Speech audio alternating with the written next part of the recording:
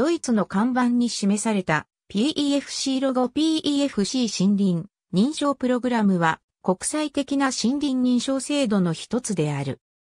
先行する国際的森林認証制度として知られる FSC では国際統一基準を各地域に向けて運用するのに対し PEFC では各地域が策定する森林認証制度を政府間プロセス基準に基づき相互承認して運用する。FSC と同様に森林管理認証と生産物認証がある。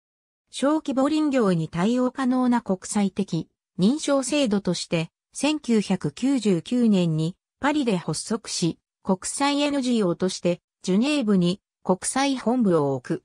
当初の名称は反ヨーロッパ森林認証であったが、やがてヨーロッパ外に対象地域が広がり、2003年に現在の名称となった。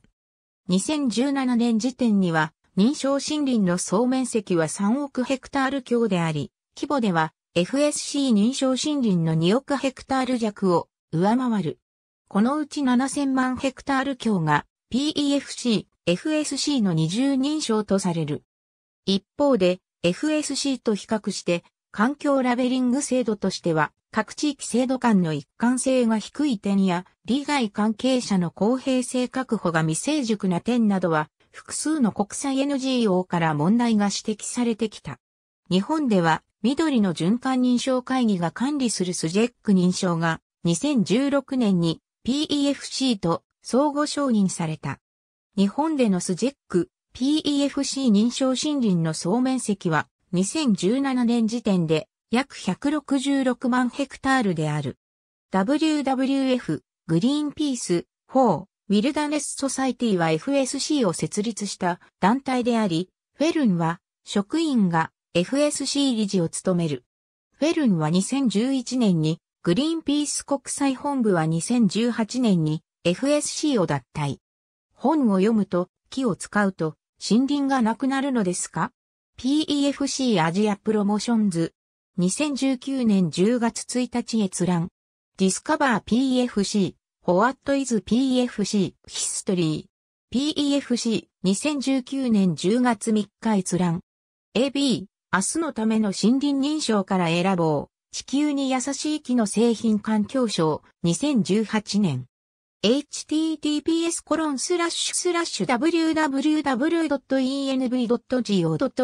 スラッシュネイチャースラッシュ shinrin スラッシュ fpp スラッシュエクスチェンジスラッシュダウンロードスラッシュフォレストパメフフィン PDF ダブルセルタフィケーション PFC&FSC エステマイションス 4MID2018 FSC PEFC 2019年10月8日閲覧。ピアーバビットの深夜ら2008、ピアニッシモ46から47、森林認証制度、PEFC 森林認証プログラム、フェアウッドパートナーズ、地球人間環境フォーラム、フォージャパン2019年10月1日閲覧。世界の主要な森林認証制度の現状と評価、CSA、スフィー、FSC、PEFC の比較マイナス。for Japan 2019年10月1日閲覧。